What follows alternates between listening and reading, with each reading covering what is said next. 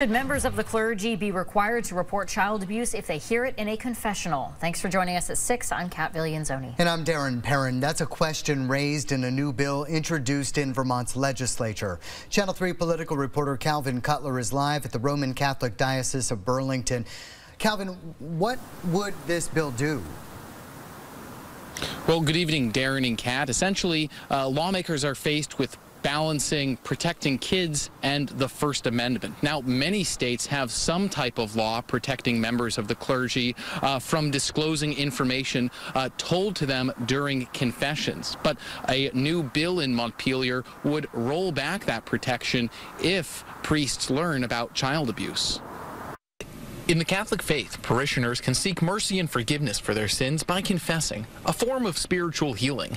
In most cases, the interactions between priests and their congregation are confidential. Uh, as we just to kind of use the monopoly phrase, it's not a get out of jail free card. But what if the parishioner confesses to child abuse?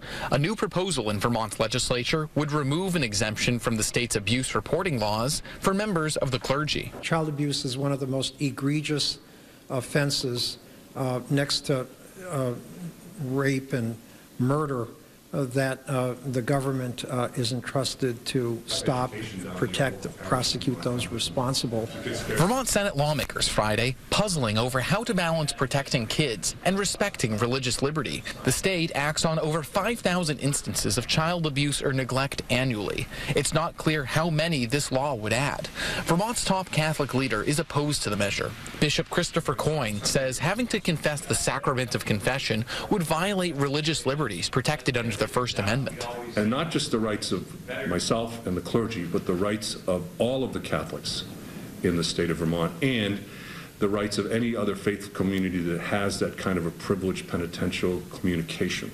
Religious scholars also told lawmakers Friday that the seal of confidentiality during confession is sacred, and breaking that seal of trust could result in priests being excommunicated and never being able to practice again. Constitutional scholars say the proposal as written would likely pass constitutional muster. Religious exemptions are a matter of legislative grace not constitutional command. But members of the clergy say the bill would make them choose between civil and canon law.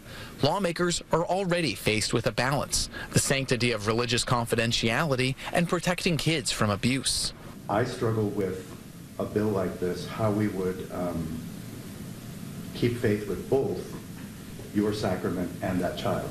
And to complicate the matter, Bishop Coyne said, confessionals are normally done anonymously. The priest rarely knows who in the congregation is confessing. Now, Vermont is one of over 30 states that uh, exempt members of the clergy from having to report abuse.